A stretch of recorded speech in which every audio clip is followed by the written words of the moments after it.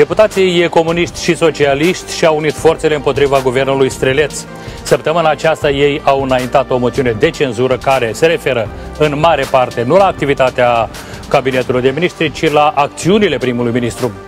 Comuniștii și socialiștii îl acuză pe Valeriu Streleț de abuz de putere și suspiciuni de corupție, fapt infirmat de către șeful executivului. Bună seara, doamnelor și domnilor! În uh, această seară la replica vom încerca să analizăm șansele guvernului Streleț de a trece moțiunea de cenzură semnată de către PSRM și PCRM. Cum vor proceda în această situație cei șase deputați neafiliați sau chiar cineva din coaliția de guvernare? În ce stare se află alianța de guvernare și care ar putea fi acțiunile deputaților PLDM în condițiile în care șeful lor de partid se află în arest. Invitați în studio domnii Vasile Bolea, deputat uh, al Partidului Socialiștilor din Republica Moldova. Lelian Carpu, deputat al Partidului Liberal. Bună seara. Sergiu Sârbu, deputat Partidul Democrat din Moldova. Bună seara. Bună seara și de această dată, deputații PLDM au refuzat invitația noastră de a participa la această emisiune. Avem totuși o promisiune a domnului Deliu de a interveni telefonic pe parcursul emisiunii. În Galerie Societății Civile sunt prezenți Sergiu Ostaf, directorul Centrului de Resurse pentru Drepturile Omului. Bună seara! Și politologul Corneliu Ciurea. Bună seara și dumneavoastră! După cum uh, procedăm ca de obicei la începutul emisiunii, vă propun să urmărim un reportaj despre discuțiile care și sunt reproșurile fracțiunilor PSRM și PCRM față de premierul Valeriu Streleț. Scopul nostru pentru ziua de astăzi a fracțiunii socialiștilor era înregistrarea moțiunii și înregistrarea demisiilor mai multor funcționari. Sper că ne așteaptă și demisia președintelui țării. Liderul comuniștilor Vladimir Voronin a sugerat că înregistrarea moțiunii de cenzură va pune capăt protestului din fața sediului Parlamentului. Eu am informații că dacă astăzi dumneavoastră cum ați citit această moțiune, Palatul și Negărădău de la Parlament se ridică, se pleacă nu știu unde, la băț sau nu știu unde. Cei 44 de deputați PSRM și PCRM care au semnat moțiunea de cenzură îi reproșează premierului Valeriu Streleț că în loc să guverneze țara s-a transformat într-un apărător al șefului său de partid, Vlad Filat, cercetat penal pentru corupere pasivă și trafic de influență. De asemenea, socialiștii și comuniștii califică drept abuz de putere solicitarea primului ministru către șeful statului privind demiterea directorului CNA Viorel Chetraru, imediat după reținerea liderului PLDM. Un alt reproș al opoziției ține de presupusa implicarea firmei lui Valeriu Streleț Bioprotect în afacerile ilegale ale companiei Caravita. În primul rând este vorba de implicarea domnului Streleț în facilitarea activității unor agenți economici precum Caravita SRL și Bioprotect SRL.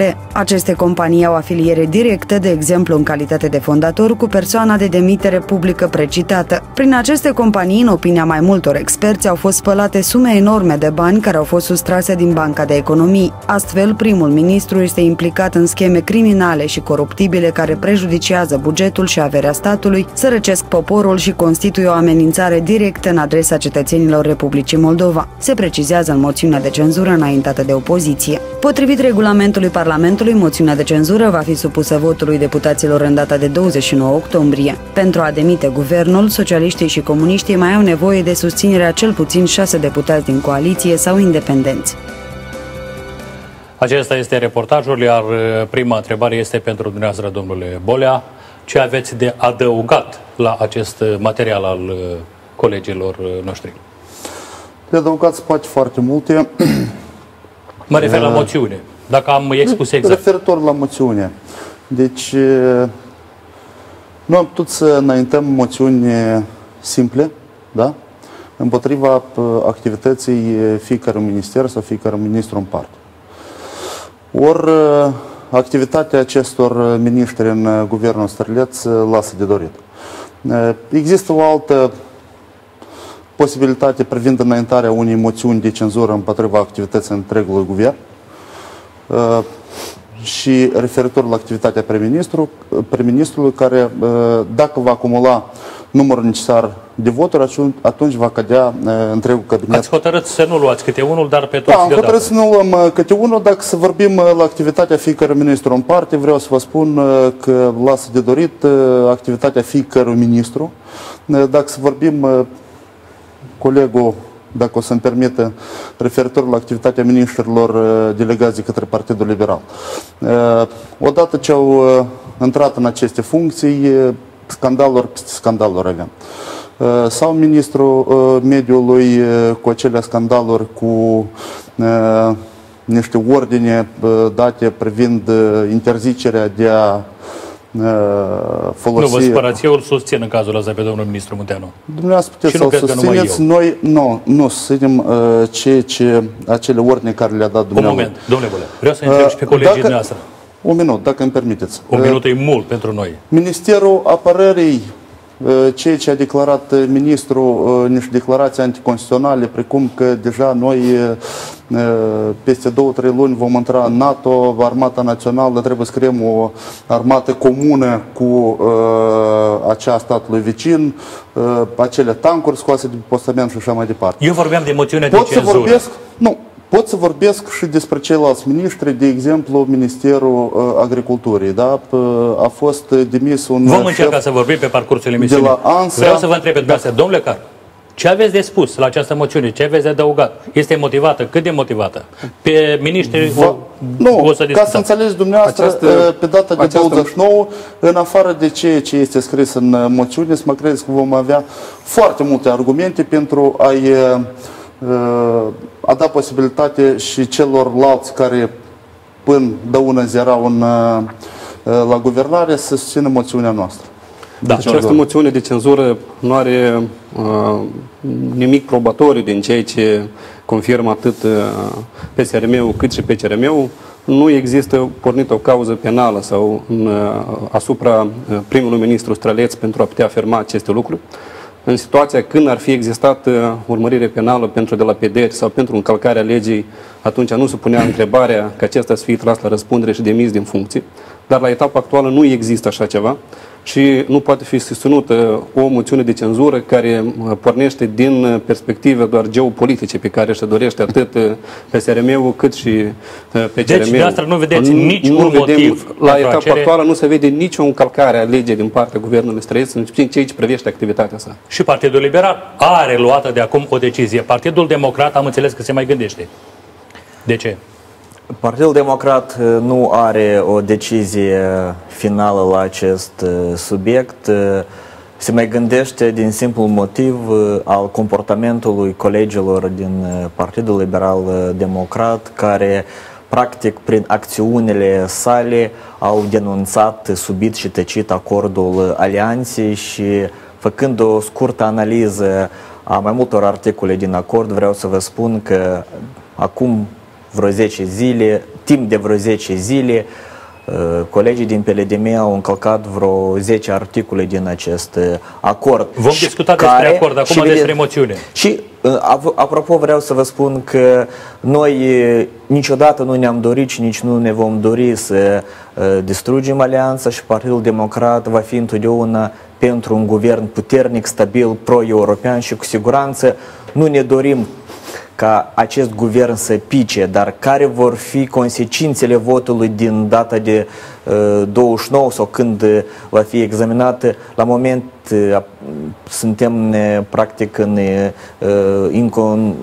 este o situație foarte imprevizibilă din simplu motiv că 50 de deputați are actuala majoritate parlamentară și evident să găsești 51 de deputați pentru a vota această moțiune cred că nu este chiar atât de mai complicat. 61 nu este de complicat. Și iarăși, din simplu motiv că acelor ultimatumuri, acelor, acelui șantaj din partea colegilor care în loc să revină la masă de discuții ca să discutăm acele probleme, să vedem ce putem face ca să mergem înainte, deci au, au început să atace de pe toate fronturile toți colegii din alianță. Întreb acum reprezentanții societății civile. Domnule Ustaf, cât de motivate sunt aceste pretenții față de guvern și față de streleț ca persoană, ca prim-ministru în parte? Dacă examinăm, în opinia mea, dacă examinăm moțiunea de cenzură din perspectiva interesului public și motivilor pentru a denunța un guvern, uh, trebuie să vedem dacă guvernul... Moțiunea de cenzură se, se depune în sensul acesta în două, uh, în, în, reșind din două considerente. Primul este lipsa de performanță adecvată a guvernului sau a unei părți importante din guvern. Are Asta guvernul performanță în această La un moment dat, putem spune, în condițiile Republicii Moldova, în condițiile în care guvernul funcționează doar câteva luni, 3-4 luni, deocamdată prima tur vorbim despre performanță. Deși sunt anumite miniștri care au experiență mai lungă de activitate, dar în opinia mea, la momentul actual, performanța nu intră în sub incidența acestei discuții la momentul actual. Deci, Doi, mai dacă există... putem avea pretenții asupra activității anumitor miniștri, cum spunea domnul Bolea, dar nu asupra întregului guvern. Sigur, asta este, asta este, asta este unul. Doi, referitor la Revenim. anumite scandaluri uh, de corupție atât de mari, care într-adevăr au și anumit substrat probatoriu adecvat, rezonabil, nu neapărat să fie probat în instanță de judecată, dar rezonabil, așa încât să fie funcția aceasta incompatibilă cu funcția unui demnitar uh, public, cum este o funcție ministerială. Deci, în ambele cazuri, există anumite, uh, nu suspiciuni, dar anumite fapte care eventual trebuie să fie discutate, uh, trebuie să fie analizate dacă într-adevăr sunt rezonabile și dacă se probează rezonabil. În spațiul public, deocamdată, nu există aceste informații. Și dacă privește... se probează, ce urmează? Haideți să discutăm atunci o altă realitate care va avea loc în ceva timp, într-o lună, două, trei sau, sau ce este. Am înțeles, domnule Ciurea. Eu cred că este foarte... Sigur, guvernul Streleț nu impresionează, dar trebuie să judecăm lucrurile uh, plasându-le în context. Ori este foarte clar că acest guvern nu are eficiență maximă din cauza crizei politice în care ne-am pomenit. Deci factorul politic este unul determinant. Și în aceste condiții, socialiștii, opoziția, comuniștii doresc să dea un brânci definitiv acestui guvern care nu place, evident, și care, repet, nu impresionează. Însă vulnerabilitatea principală a guvernului Strileț nu este atât performanța cât uh, starea coaliției și relațiile dintre cele trei partide. În cazul în care ele vor fi redresate și alianța va fi reclădită, cred că moțiunea socialiștilor și comuniștilor poate să ieșuieze. Aici mai există așa o, o nuanță. A procedat corect domnul Streleț, transformându-se uneori în apărătorul domnului Filat? Uh, din Ceea punctul ce meu... imputat de către opoziție. Vedeți, uh, nimeni nu vă poate da un răspuns foarte clar, pentru că din punctul de vedere al unui comentator care privește din afară, sigur, a fost riscantă această mișcare, dar mă întreb dacă aș fi fost eu pe Ledemis, ce aș fi făcut în asemenea Atunci situație. să întrebăm un jurist. Nu le sârbă. Poate primul ministru să intervină în acest caz în apărarea colegului de partid? Un prim, un prim-ministru cu siguranță nu are niciun drept moral să intervină. Ca și membru de partid, poate da, dar numai nu de la tribuna guvernului. Și vreau să vă dau aici exemplu României, care a trecut prin numeroase scandaluri de corupție, unde au fost condamnați foști prim-ministri, ministri, deputați și ce au făcut colegii acelor demnitari din România care se aflau partide în alianța de guvernare. Și de asemenea au fost învinuiri de dosare și răfuieli politice, dar acele partide, exponenții acelor demnitari care au fost arestați, condamnați, nu au făcut acea greșeală pe care o fac acum colegii de la PLDM. Și nu uh, au apărat cu tot din adinsul acei demnitari și au lăsat justiția să-și facă meseria, iar partidele din alianță și-au continuat uh, uh, activitatea în alianță, în Parlament, în guvern, astfel s-au detașat de toate aceste scandaluri de corupție și astăzi România a rămas și acel partid apropo, a rămas să fie partid de guvernare cu prim-ministru și România și cu corupția are succese în combatere și, evident, și succese apropo în creșterea uh, produsului intern brut a României. Apropo deci de România. ar fi bine ca noi să luăm acel exemplu. Am citit un interviu cu un judecător venit în România în vizită, Del Piedro, care a început în anii 90 lupta cu corupția și spunea în felul următor. În momentul în care a început lupta, au pus acuzații de implicare politică. La noi se face la fel. Acum, următoarea întrebare. Domnule Bolea, a făcut corect domnul Streleț și legal atunci când a cerut uh, demisia șefului CNA? Referitor la această întrebare, trebuie să răspundă un uh, membru al PLDM-ului. Părerea noastră este următoare. Toți cei care prin inacțiunile lor au admis furtul miliardelor urmează să plece din sistem.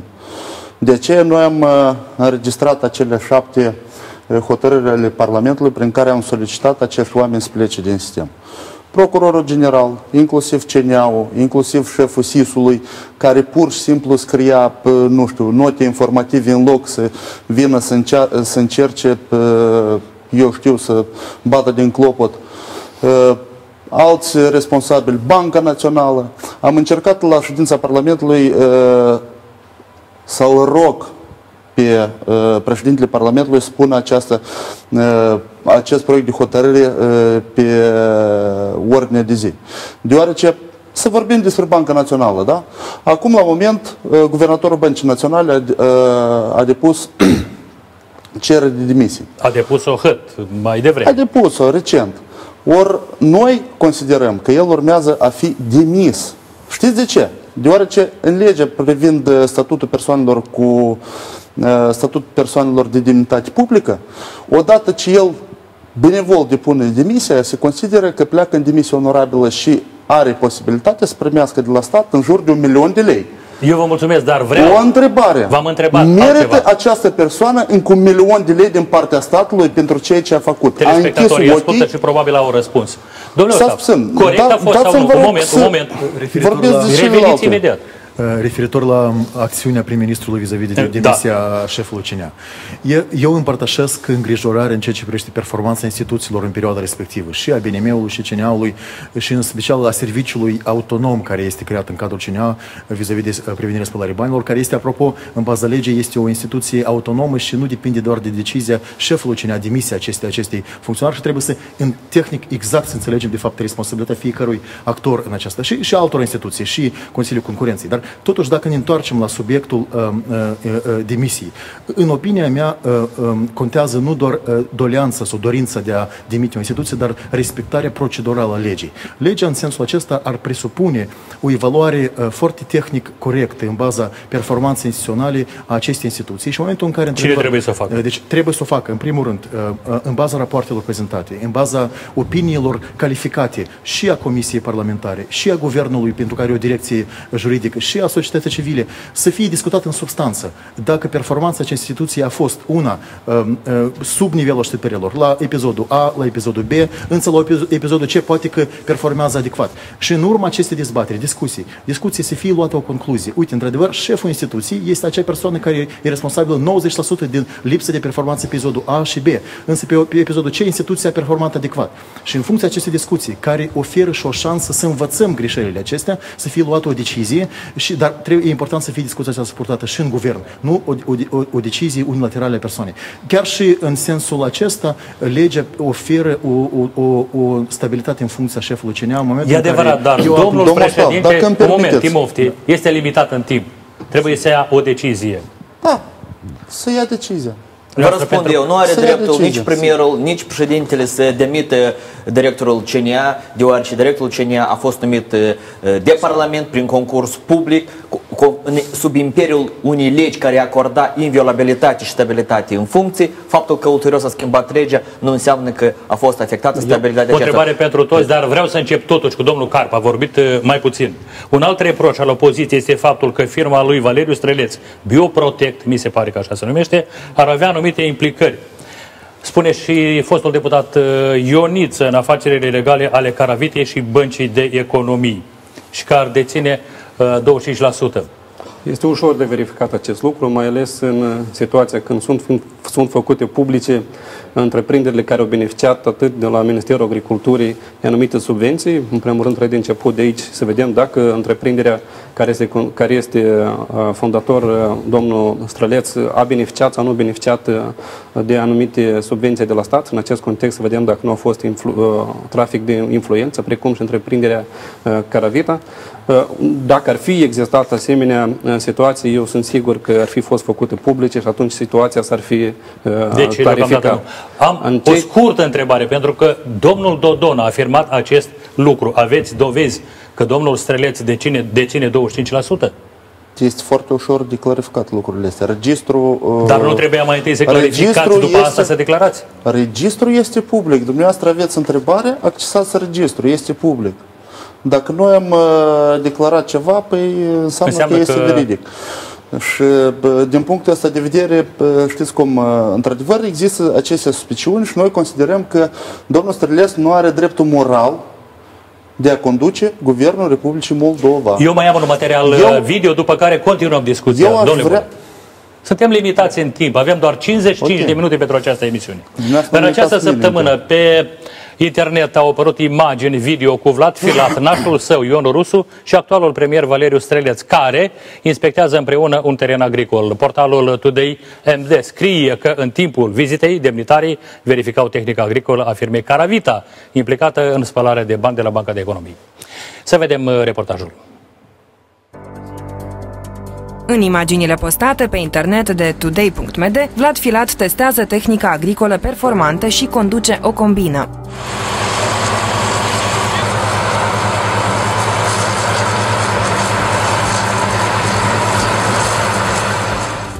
Potrivit Today.md, premierul Streleț este încântat de performanța tehnicii agricole moderne, cumpărată cel mai probabil din creditele de la BEM. Premierul își scoate la un moment dat pălăria, face o plecăciune în fața lui Vlad Filat și rostește jos pălăria.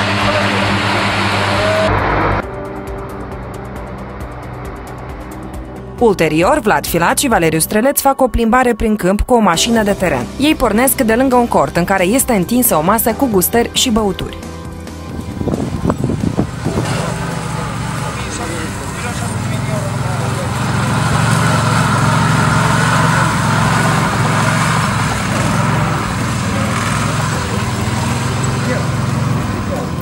Alături de cei doi apare Ion Rusu, administratorul firmei Caravita, care și-a recunoscut vina în dosarul creditelor frauduloase. Tehnica agricolă care apare în filmuleț este fabricată în America. Pe piață, o combină de acest model costă în jur de 300.000 de euro, iar un tractor până la 100.000 de euro. Mașina de teren pe care o testează în imagini liderul Peletemen nu poate fi găsită pe piața din Moldova. Astfel de mașini sunt aduse în țara noastră doar la comandă. Fermierii de obicei se străduie banii care iau la dispoziție să investească în produsele agricole, uh, dar anul trecut, că a fost un an răbitor, doi clienți și-au permis acest moft. Fermierii spun că tehnica de acest model este prea costisitoare. În ziua de azi, când posibilitățile se micșorează după 10 trece, da? Apoi fermierul sunt la așa un tehnic, știți, ca cum, ca cum să, să la ceva care e imposibil pentru dânsul. Mi-aș dori o combină, clar, o combină nouă. Numai că e foarte scumpă pentru noi, fermierii din, din Moldova. Dosarul Caravita reprezintă un episod din dosarul fraudelor de la Banca de Economii. Nașul lui Filat, Ion Rusu, și-a recunoscut vina în acest dosar, în care este învinuit că ar fi obținut în mod fraudulos de la Banca de Economii împrumuturi de milioane de lei. Ion Rusu mai este acuzat de gestionarea fluxurilor financiare ilegale ale companiei Caravita, care au fost folosite pentru finanțarea mai multor instituții media, analiști politici afiliați fostului premier și servicii de PR pentru Partidul Liberal Democrat. Pentru mine, prima întrebare care a apărut după vizionarea acestor imagini a fost următoarea. De ce protestează fermierii, agricultorii, țăranii de Republica Moldova, dacă uitați-vă ce condiții de muncă au? Tractoare performante, combine performante, corturi la care este întinsă o masă. Condițiile de muncă, asemenea condiții de muncă le au doar uh, cei care sunt afiliați puterii. Ceilalți agricultori, să mă credeți, nu au posibilitatea să-și procure asemenea tehnică agricolă. Cel puțin o combină John Deere astăzi pe piață costă de la 700.000 de euro până la 1.500.000 de mii. Un tractor John Deere cu toate plugurile reversibile și așa mai departe costă 300, 400, 500 de mii de euro. Nu fiecare poate să-și permită asemenea achiziții și aici eu cred că acești domni și-au permis asemenea achiziții, având acces la banul public, având acces la acele plăți da, care se fac din bugetul de stat, subvenții și așa mai departe. A doua întrebare mea pentru toți este următoare. Trebuia domnul Streleț înainte de a veni în funcția de prim-ministru, să-și declare aceste relații cu Caravita, cu... Sau nu era, nu era obligatoriu? În primul rând, noi trebuie să facem uh, divizare foarte clară în cei ce este Vlad Filat și cei ce este Valeriu Străleț. Eu înțeleg că se încearcă acum de a prezenta că a făcut parte și Valeriu Strălesc la, la uh, învinuirile care au fost duse, aduse lui Vlad Filat. La moment nu sunt Domnul probate. spune că are date Uh, Dacă vor fi probate, atunci vor fi alte realități și alte discuții în acest context. Învinuirile pot să, să curgă dintr-o parte și alta, atâta timp cât nu este probatorie acest lucru, este complicat de, de argumentat niște lucruri. Totodată, în ceea ce privește relațiile pe care le are Strălesc, trebuie el să le declare în ceea ce privește cu Caravita. În filmulețul care noi îl vedem, vedem că o inspecție a lui Vlad Filat, în primul rând la întreprinderea Caravita și este însoțit în această vizită sa de către premierul Străleț. În ce calitate el caută acolo, asta este o altă întrebare, pot să răspundă dumnealui, fie ca prieten sau fie ca proprietar, aici este mai, mai greu de răspuns la întrebarea. Sunt niște presupuneri doar. Sunt doar presupuneri. La etapa actuală nu avem uh, anumite argumente care să vină în favoarea acestei uh, afirmații. Domnule da, o replică, vă rog, și după care domnul. Da, o mică replică. Știți, odată ce persoana vine într-o funcție înaltă de stat, atunci trebuie să depună două declarații. Una, declarația pe avere, pe venituri, și alta declarația pe interese. Mie, și în declarația pe interese este obligat să declare toate afilierile, mă refer la asociațiile obștești. Domnul Străleț respinge orice acuzații din partea dumneavoastră și spune păi, că totul este trebuie absolut să vedem legal. dacă a depus această declarație pe interese. Să o comparăm cu uh, extrasul din registrul întreprinderilor de stat și atunci dacă uh, va, vom găsi că uh, nu și-a declarat interesul în cei țin de afiliere la uh, Bioprotect, la Caravita și așa mai departe, atunci eu cred că după aceasta colegii din Partidul Liberal o să în această moțiune. Să mai aflăm mai întâi colegii de la Vom susține nicio moțiune Democrat. de cenzură care poate duce la destabilizarea situației politice de Republica Moldova. Păi, Degeaba dumneavoastră nu haideți să faceți facem iluzii în acest stabilitate- context. Stabilitate în- stabilitate ați făcut-o, domnul Boli, atunci când ați Dumneavoastră fost ați la făcut guvernare în, stabilitate. 2000, din Dumneavoastră 2001 ați până în făcut 2009, stabilitate de șase fiind ani de afiliat zile. Domnul atunci Sârbu, la chiar partidele foarte țara, răbdător să fiecare terminăm zi. această Apuratul discuție, destul. să spună Dumneavoastră opinia. stabil o cel, faceți. cel puțin Domnul când Sârbu. este la actuala, numai 20 de secunde, numai în condițiile când astăzi se află la guvernare o Alianță Integrare Europeană, a început cel puțin lupta pentru corupție. Alianța Dumneavoastră de ați Integrare avut ușor Europeană, finanțatori de șase ani de partid, zile, finanțatori de fură în partid țara asta în campania electorală miliarde. din 2011. Am Așa încheiat dorim totul ca să nu scot Fură, microfoanele. Da, Domnul miliarde Sârbu. de lei. Stimați colegi, Sus cred miliarde că ar fi de euro, corect jos să miliarde facem de uh, o distinție foarte clară uh, ceea ce înseamnă responsabilitatea juridică uh, și responsabilitatea politică a unui guvern, a unui ministru și așa mai departe.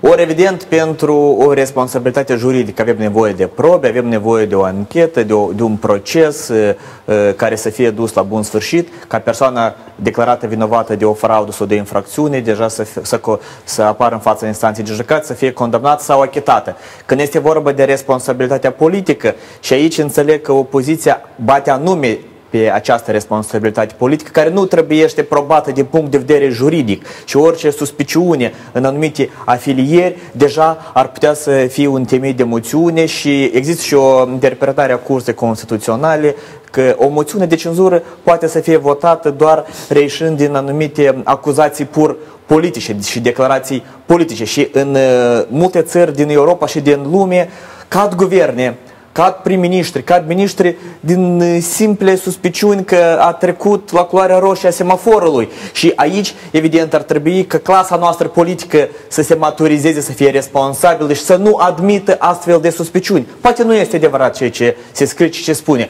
dar faptul că avem astfel de imagini, faptul că avem astfel de interceptări, nu știu dacă sunt adevărate sau nu, deja înseamnă o ire- irresponsabilitate a întregii clase politice că au admis astfel de situații. Câte minute care mai avem ridică- până la pauză? Întreb acum regia. Regia. Un minut, câte 30 de secunde la subiect. Domnule Ciurea. ce să zicem, uh, eu înțeleg poziția socialiștilor care spun că un prim-ministru corupt trebuie să fie deferit justiției și înainte de asta trebuie să cadă ca prim-ministru, dar sigur așteptăm probele și aici, bun, societatea civilă poate ajuta, dar instituțiile statului trebuie să fie implicate mai mult. Apariția prim-ministrului uh, alături de o companie, o firmă care este investigată și este implicată și deja există probe în spațiu Nu public era suficiente. prim-ministru atunci. Nu era prim-ministru. Era șeful grupului parlamentar PLDM, dacă nu Atunci, greșesc. atunci e o situație diferită. Oricum, apariția oricărui demnitar public uh, alături de o firmă care este investigată și este suficientă, e o situație problematică, dar nu este suficientă pentru a, a vota o moțiune de cenzură. 20 secunde, vă încadrați? Trăieratul greului se face la sfârșitul lunii iulie. Înseamnă că dumnealua- dumnealui e posibil, atunci deja era investit în funcție. Da, poate fi și anul trecut, dar poate fi și anul ăsta. Nu știm Posibil. exact. Acum anunțăm o scurtă pauză, după care vom încerca să luăm uh, legătura telefonică cu deputatul PLD, PLDM, domnul Tudor uh, Deliu. Pauză acum.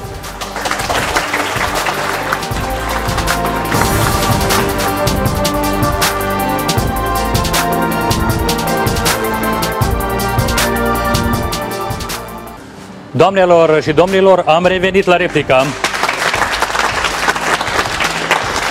Discutăm astăzi despre moțiunea de cenzură înaintată de către Partidul Comuniștilor și Partidul Socialiștilor împotriva guvernului Streleț, dar și despre pretențiile opoziției privind suspiciunile de corupție care ar plana asupra primului ministru. La discuții participă deputatul socialist Vasile Bolea, deputatul liberal, liberal Iulian Carp și deputatul democrat Sergiu Sârbu.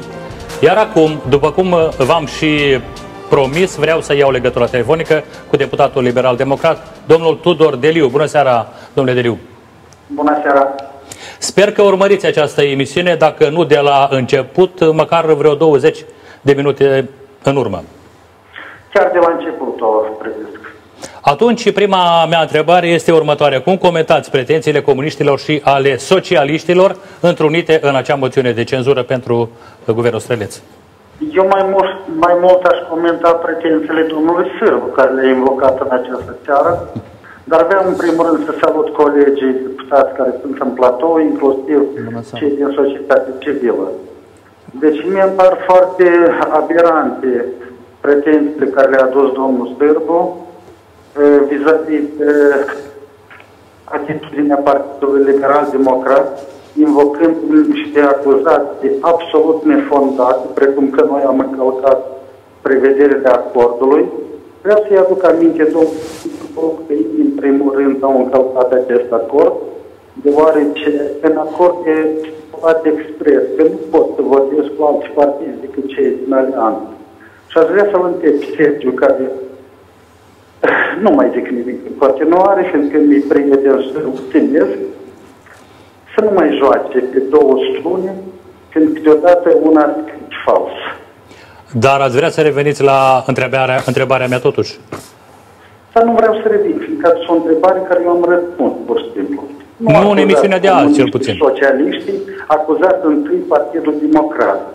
El este prima strună care vrea să facă acest lucru. Am înțeles. Acum mai am o întrebare, dacă nu aveți Da, vă rog. nimic împotrivă. A explicat cumva domnul uh, prim-ministru Streleț apariția dânsului în aceste filmări, care este și vicepreședinte acum, președinte al PNTM. Mie îmi pare rău, domnul Frumustați, că n-ați arătat uh, împușcăturile de la Nisforeni, cele de la Orhei, care astăzi sunt deputați în Parlament, și nu ați arătat ceea ce s-a făcut și ați arătat niște imagini care sunt încă din anul 2012. Dar mă rog, Prime este Prime, în aceeași grilă, a cui știm, nu vreau să mai spun mai departe. Am înțeles. Mai am câteva Da, întrebări. Vă rog să rămâneți pe fir. Dar rămân. Care sunt, uh, după părerea dumneavoastră, șansele guvernului uh, Streleț să rămână în picioare? În ce condiții? în cele în care, în primul rând, Partidul Democrat își va da seama că în țara asta trebuie să guverneze buna înțelegere și atitudinea față de cetățeanul Republicii Moldova. Mie mi-a plăcut atitudinea, nu vreau să fac compli- complimente a domnului Carp, care a fost foarte corect în această seară, cum și este, de fapt. Dar îmi pare rău că astăzi se încearcă a se vehicula niște lucruri care pur și simplu sunt banale. Nu noi vrem acest lucru, ei îl vor. Și dacă eu sunt acuzat, eu personal astăzi că am declarat, nu știu, cu platforma da și nu asta am declarat-o eu, eu am zis că trebuie să ne socializăm cu vocea poporului. Și dacă cineva din PD, mai ales cel mai înalt, cel mai mincinos, nu pare să o spun încă o dată, încearcă să ducă în eroare cetățenii Republicii Moldova, mie îmi pare rău. pur și simplu. Acum mă adresez dumneavoastră dacă aveți întrebări sau anumite replici față de domnul Deliu, vă rog. Da, domnule Domnule Săriu. Deliu, bună seara! Bună, Uh, Sergiu! uh, Într-adevăr, vreau să vă spun uh, că și mie personal și sufletește mi-este greu acum să uh, vorbesc și chiar este regretabil că am ajuns într-o astfel de situație, dar chiar chiar este regretabil atunci când dumneavoastră cu fracțiunea ați părăsit Parlamentul la ședința trecută și nu am avut posibilitate să votăm acorduri importante pentru Republica Moldova, ce ține de acordurile de finanțare. Atunci când se, se pun ultimaturi, demisii peste demisii, contrar legii, evident că toate aceste acțiuni nu au cum să aducă încredere între partenerii de, de alianță, dar eu sper, eu încă sper foarte mult că liderii noștri totuși vor găsi zilele următoare un numitor comun și uh, vor ajunge la un consens ca totuși să ieșim dintr-o, din această situație uh, complicată și să nu facem imixtiune în justiție, să dăm posibilitatea justiției să-și uh, facă treaba, iar noi în Parlament, în Guvern, totuși să continuăm să dezvoltăm uh, Republica Moldova, să respectăm acordul alianței și uh, acțiunile în programul de activitate a guvernului în binele țării, deoarece altă alternativă nu avem. Domnule Deliu? Da, Sergiu, eu îți mulțumesc, tu știi atitudinea mea față de tine personal, care am zis-o când era în Partidul Comuniștilor, că eu sper și cred că din tine o să crească un politician bun. Și mă bucur că avansez. Numai te rog, dragul meu, nu eșua în stânga și dreapta. Ai, ai părerea ta, țineți. Tu ești băiat deștept și poți să faci multe lucruri. Cât privește implicarea în justiție, eu aici nu vreau să comentez, Sergiu. Tu știi părerea mea, dată zic față de tine și eu nu vreau ca noi doi încercăm a clarifica niște situații pe care trebuie să-i clarifice de sus. O leacă calmează, Sergiu. Tu ai perspectivă, dar nu te da șantajat de cei care te postează și te vâră prin plan ca să ia pe cei care nu merită, pur și simplu. Domnule Deriu, uh, judecând după tonul pe care l-ați abordat uh, în discuția, în special cu domnul Sârbu și frazele rostite în adresa Partidului Democrat, vreau să trec puțin pe altă parte. Acum în Parlament nu există majoritate. Care va fi atitudinea Partidului Liberal Democrat în cazul în care grupul Leancă va veni să salveze Republica Moldova uh, dacă dumneavoastră nu veți veni voi să o faceți? Eu sper că joi uh, componențele Alianței pentru integrare europeană nu vor vota moțiunea de cenzură. Dacă vor vota această moțiune, înseamnă că în țara asta totul e clar, totul e pierdut. Noi niciodată nu vom accepta ca să devină un salvator a națiunii, un trădător. La cine vă referiți acum? Da. La da. cine vă referiți acum? La ceea ce m-ați întrebat dumneavoastră, domnul A, nu vreți să dați nume. Oricum. Domnule uh, Deliu, oricum vă rog să rămâneți încă da. în legătură directă cu noi, pentru că mai avem un material video. Liderii partidelor uh, din uh, coaliția de guvernare recunosc că există anumite tensiuni și se pare că aceștia Acestea nu au fost încă depășite în cadrul ședinței de aseară a Consiliului Alianței. Să urmărim ultimele declarații făcute de către Valeriu Streleț, Marian Lupu și Mihai Ghibu, după care continuăm să discutăm tema. Ședința Consiliului Alianței a durat mai bine de trei ore. Discuțiile au fost productive, a declarat vicepreședintele PLDM Valeriu Streleț, care a propus crearea unui grup de lucru în vederea elaborării unui plan de acțiuni pentru realizarea priorităților AIE 3. Noi am propus ca să avem o, un grup de lucru care să elaboreze un plan de acțiuni în care să fie foarte clar Uh, ce obiective și când ne le propunem, care vizează inclusiv și sistemul anticorupție, inclusiv și sistemul Procuraturii Generale, uh, inclusiv sistemul de integritate, sistemul judecătoresc, uh, acțiuni cu caracter economic și social. Nu avem nevoie acum de grupuri de lucru. Noi trebuie să producem rezultate pentru oameni, problema numărul 1. Formarea, sau mai degrabă reclădirea unei majorități autentice parlamentare, cu negocierile necesare cu cei neafiliați, vreau să adresez colegilor la PLDM, solicitare respectuoasă să nu mai șantajeze, fie cu platformă, fie cu grupuri de lucru, să nu condiționeze. Este o situație critică. Potrivit lui Marian Lupu, prioritară este crearea unei majorități parlamentare capabile să ia decizii în prag de iarnă. Și asta pentru că în prezent coaliția de guvernare are doar 50 de deputați, cei ce ar putea bloca adoptarea unor legi importante. De aceeași părere este și liderul PL, Mihai Gimpu. Noi avem program de guvernare, este acordul uh, AE3, sunt angajamente față de partenerii externi și eu am propus, poftim, uh, e cunoscut în toată lumea că odată ce este program de guvernare, guvernul vine cu un plan de acțiune. Și dacă vine cu un plan de acțiune, suntem gata să-l discutăm. Liderii AIE au discutat și despre moțiunea de cenzură înaintată de PSRM și PCRM împotriva guvernului. Toate acuzațiile sunt stupide și lipsite de uh, fond, lipsite de, de temei. Uh, să aibă încredere că prim-ministrul Republicii Moldova nu este o persoană coruptă, uh, le-am spus-o partenerilor de alianță, iar mai departe vor decide dumnealor cum vor proceda în plen. Mihai Gimpu a anunțat că liberalii nu vor vota moțiunea, iar Marian Lupu spune că PDM nu a luat deocamdată o decizie în acest sens. Noi vom discuta cu siguranță la partid cu colegii în cadrul biroului permanent a Consiliului uh, Partidului pentru adoptarea acestei decizii. Mai e timp, trebuie de continuat aceste discuții zilele viitoare pentru a încerca o remediere a acestei situații. Tensiunile sunt pe ce s-a întâmplat pe date 15 ridicarea imunității, reținerea și arestarea. Dar în acord nu este prevăzut că noi nu trebuie să, să votăm în astfel de situații. Noi, liberale, considerăm că alianța este dată pentru a guverna în schimbarea situației în care ne aflăm. Adică o guvernare pentru oameni, dar nu pentru să ne gândim la filat sau la ghimpa. Alianța e una și călcarea legii cu totul altă. Întrebarea mea este către societate, reprezentanții societății civile. De ce acest grup de lucru a devenit un măr al discordiei acum, pe ultima sută de metri, înainte de votul de joi din, din Parlament? Domnule Ciurea. Grup de lucru? Grup de lucru pe care l-a propus domnul Streleț. Bun. E da, domnul Lupu vorbea de șantaj. Eu cred că totuși nu e vorba atât de, mai, de grup de lucru. Problema cea mare este supăr, supărarea și dezolarea Partidul Liberal Democrat care a primit o lovitură grea. Îi putem înțelege, se refac destul de greu, dar aș vrea să menționez aici că de felul cum se va recupera pe LDM-ul și vor reveni la discuție va depinde uh, viitorul coaliției. Domnul Lupo aici cred că a avut dreptate. Nu e vorba de grup de lucru.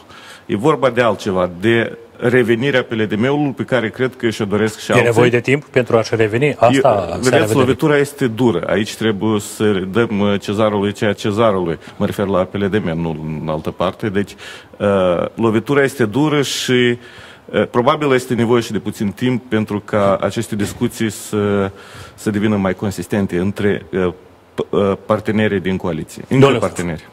Uh, într-adevăr, dacă discutăm acum despre perspectiva politică, deși este o zonă mai puțin confortabilă pentru mine, dar zona politică ar presupune în sensul acesta acțiunea epidemiului, așa cum a declarat uh, domnul Stăleț de la bun început, că uh, mâinile sunt dezlegate, uh, acțiunile o să fie foarte hotărâte în ceea ce privește promovarea proiectelor de legi, acțiunile foarte concrete pe demisiune de care ei sunt responsabili uh, ministeriali sau alte uh, acțiuni. Deci, uh, dânsul nu a vorbit despre grupul de lucru anterior, deci haideți să acționăm foarte direct și foarte tranșant în ceea ce privește domeniile de responsabilitate responsabilitate ministerială. Asta este unul.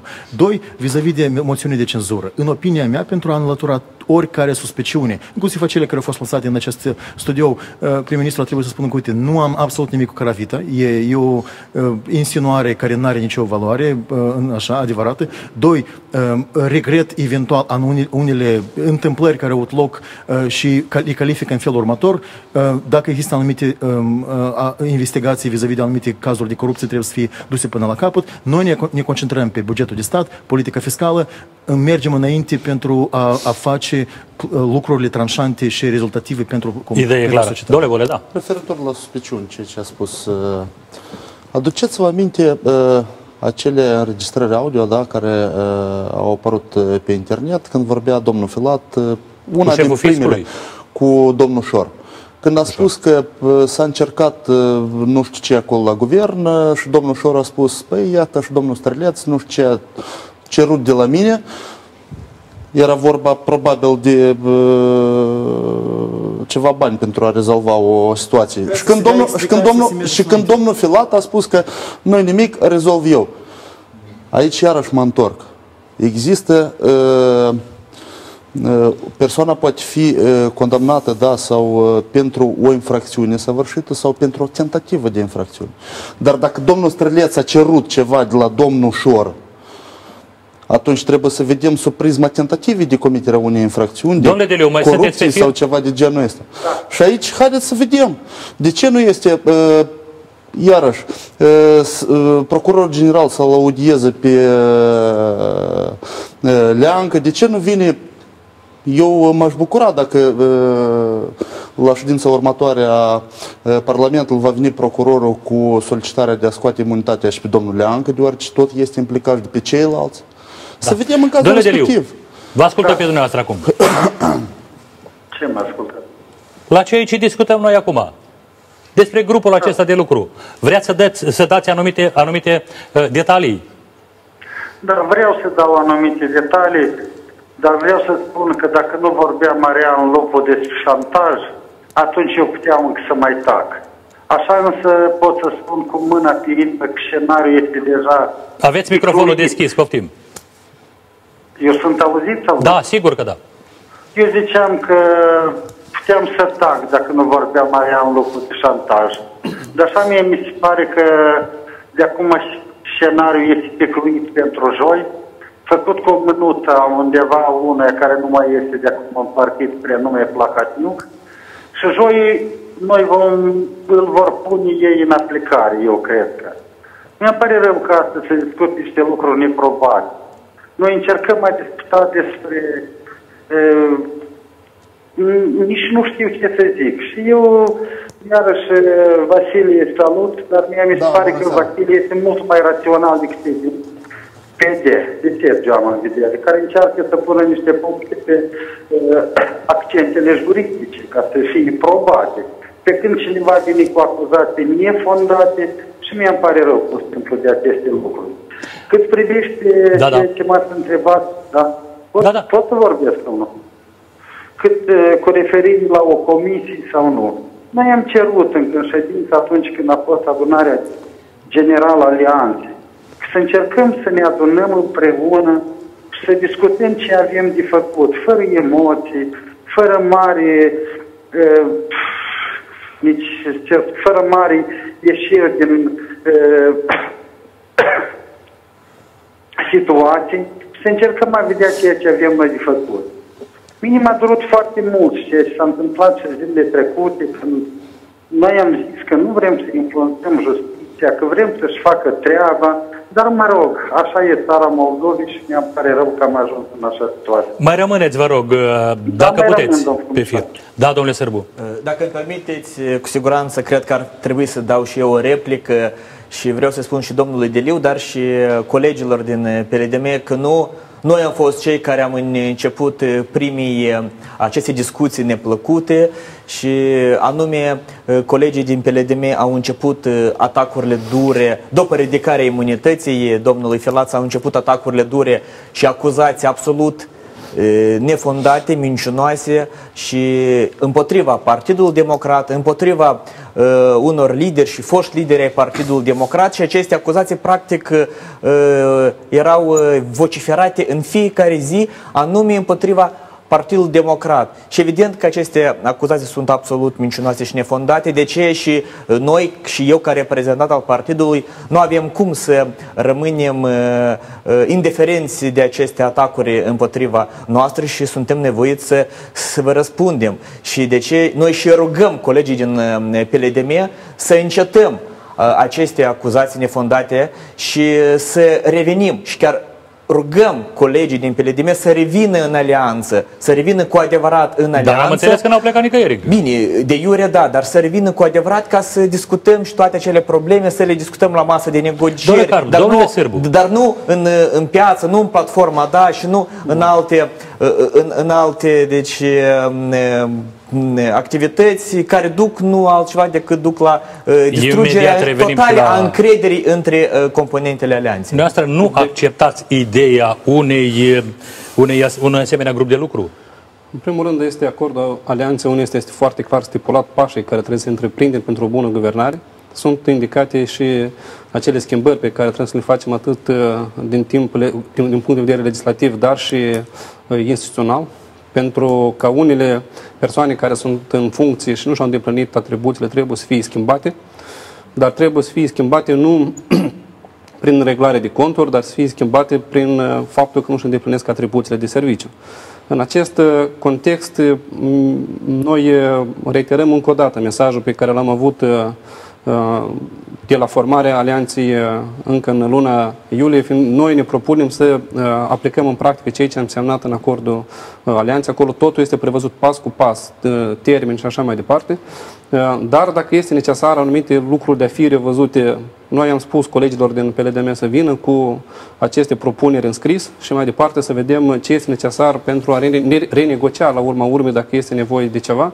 Dar avem atât susținerea partenerilor externi care ne recomandă despre acțiunile pe care trebuie să le întreprindem pentru a schimba uh, lucrurile spre bine și totodată avem și susținerea uh, uh, ambasadorilor care ne spun foarte clar că Republica Moldova trebuie să meargă înainte fără, fără de ce a devia L-am rugat pe domnul, pe domnul Deliu să mai rămână.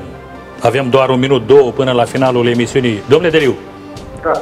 vreți să ne explicați în câteva cuvinte relația Partidului Liberal Democrat cu platforma? Da, s-au spus multe în ultima perioadă. Da, vreau să vă explic că sunt niște minciuni care le vociferează. A vocifera înseamnă a striga, dacă am le strigă Partidul Democrat. Noi am avut un briefing la care am zis că noi nu putem să fim indiferenți de vocea poporului. În Parlament a fost înregistrate trei demersuri, care noi ca deputați nu am văzut niciunul.